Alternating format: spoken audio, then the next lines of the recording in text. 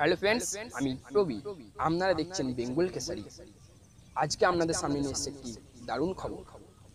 যার মাধ্যমে আপনারা বাড়িতে বসেই থানায় অভিযোগ দায়ের করতে পারবেন। নয়া অ্যাপ চালু করল কলকাতা পুলিশ তো চলুন দেখা যাক। সাবস্ক্রাইব করুন বেঙ্গল কেসরিকে এবং পাশের বেল আইকনে ক্লিক করুন প্রত্যেক দিনের লেটেস্ট ভিডিও পাওয়ার জন্য। তো জীবনে সময়ের বড়ই অভাব। সেই সময়ের অভাবে অনেকে থানায় গিয়ে অভিযোগ দায়ের করতে পারে না।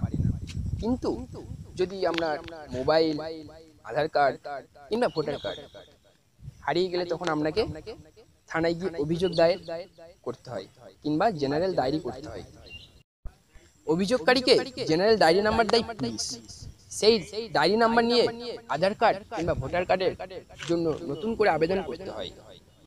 মোবাইল হারিয়ে গেলে অবশ্যই আরেকটি নতুন মোবাইল কিনে যায়।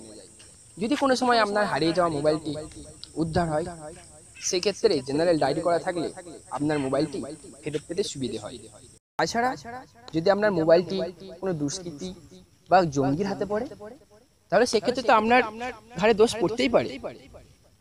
তাই নিজেকে বাঁচাতে জেনারেল ডায়েরি করার পরামর্শ দেয় পুলিশ।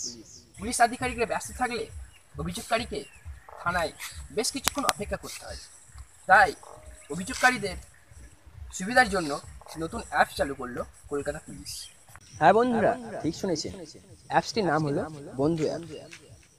এখন বাড়িতে বসেই অভিযোগ দায়ের করুন, যেতে হবে না থানায়।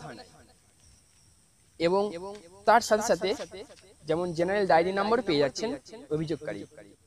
এতে যেমন আপনার সময় বাঁচবে, ঠিক তেমনই পুলিশেরও সুবিধা হবে কাজে এই অ্যাপটি ডাউনলোড করতে চাইলে ডেসক্রিপশনে লিঙ্ক থেকে ডাউনলোড করুন এবং এই অ্যাপটি কীভাবে কাজ করবেন সেটি আমি পরবর্তী ভিডিওতে দেখিয়ে দেব। ভিডিওটি দেখার জন্য আমার চ্যানেলটিকে অবশ্যই সাবস্ক্রাইব করুন এবং পাশে থাকা বেল আইকনে ক্লিক করুন।